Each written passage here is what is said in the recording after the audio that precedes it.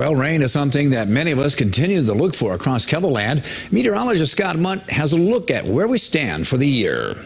We've had our widely scattered showers and thunderstorms as of late, but unless you're caught underneath the right cloud, it really hasn't added to too much. It seems like we've been fighting the dry conditions through much of the year, and it continues during the middle of the summer months. This graphic shows the amount of precipitation so far this year. It ranges anywhere from 8.5 in Yankton and Mitchell to over 19 in Worthington. Compared to the average so far, many are below average. Almost 9 inches below in Yankton and 5 inches in Sioux Falls and Winner. Now, there are a couple of areas above average, such as Worthington Pierre and Aberdeen. Pierre was helped with over 6 inches of rain in June.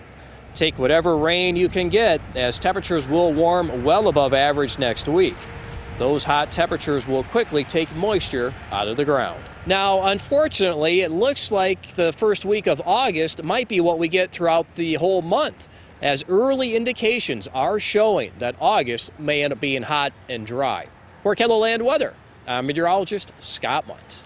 Thanks, Scott. And we'll get a closer look at the need for rain tomorrow when the latest drought monitor is released.